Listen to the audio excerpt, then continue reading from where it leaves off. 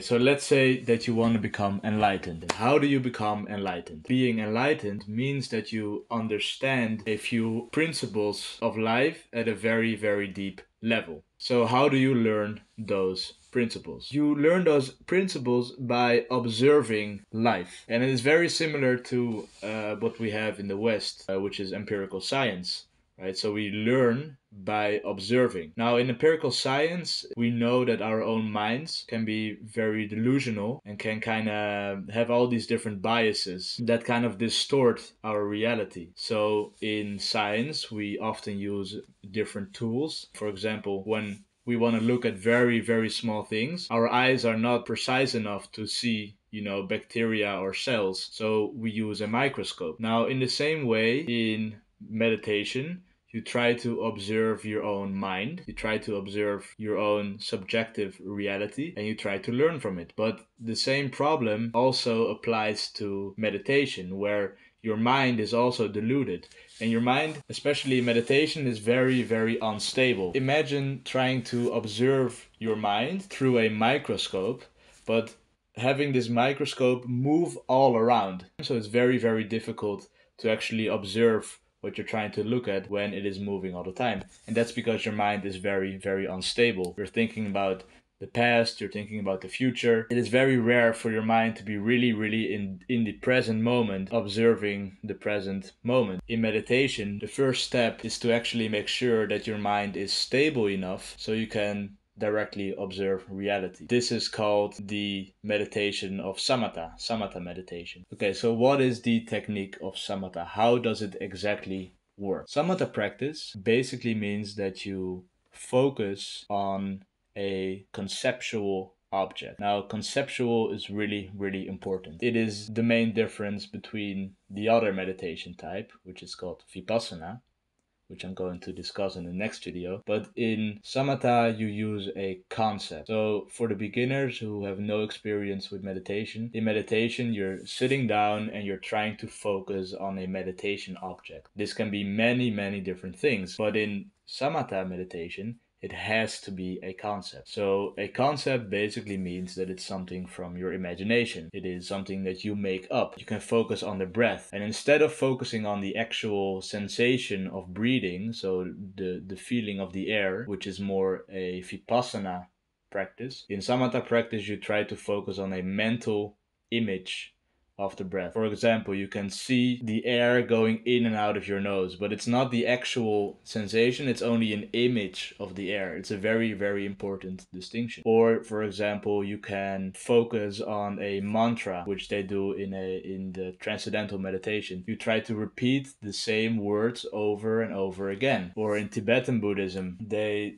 visualize these images of the Buddha they try to visualize in the, those in their mind over and over again so they become very very stable. The problem is that your mind in the beginning when you try to do these practices your mind is going to become very very distracted. The practice is putting your mind again on this object and then your mind is going to become distracted and then you reapply your concentration your intention and you keep doing this over and over again. And it's very similar to going to the gym and doing many reps and training your muscle in the same way you're training your mind. And what you're trying to develop is called continuous concentration. So, continuously, you're concentrating on this concept of the breath or this concept or this mantra or this image of the Buddha or whatever image you can think of. So, I want to do a, a quick experiment. I want you to imagine a pink elephant. Try to imagine a pink elephant right about here. You can have your eyes open or closed, doesn't really matter.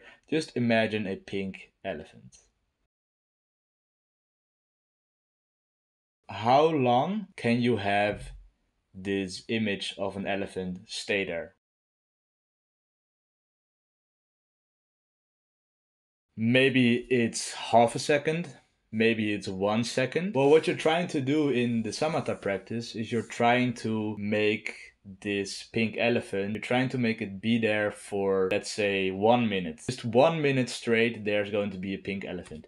Or you're trying to make it stay there for five minutes or 30 minutes or one hour. So that's the whole practice. Now, the problem is that this takes a lot of effort. It is tiring to keep reapplying the intention to have the image. If you keep reapplying this effort, if you keep doing it for months, for years, sooner or later your mind is going to listen to you. And then what will happen is your mind will become very concentrated. As a byproduct of be- becoming very concentrated, there's going to become a very sort of calm, pleasant feeling. And the translation of samatha is also calmness. As a natural consequence of feeling pleasant, your mind is bound to become more concentrated. You need to really understand this. So your mind likes to focus on pleasant feelings. What will happen is you you become very concentrated, so you you experience a lot of pleasant feelings and because your mind is going to focus on the pleasant feelings, it's going to become more concentrated. And then because it's more concentrated it's going to experience more pleasure. So what you have is a positive feedback loop. At this moment where this con- this positive feedback loop starts happening you get sucked in to the meditation object. So at the time of the buddha they only had this type of meditation. And then the the monks at the time they would try to stay in these states of jhana which are these states when you have the positive feedback loop. You can get into eight different states, which in Buddhism are called the jhanas. The monks at the time they imagined that these they were having a union with God. Anytime they they left those states, they were kind of back at the beginning. They didn't really have any permanent change in their psyche. And the Buddha, who was very talented in these concentration states, these jhanas, kind of discovered that, you know, this is not what I want. I want a permanent solution for my suffering. And this is not a permanent solution, it's only a temporary solution. So the Buddha then decided that he was going to sit down under a tree and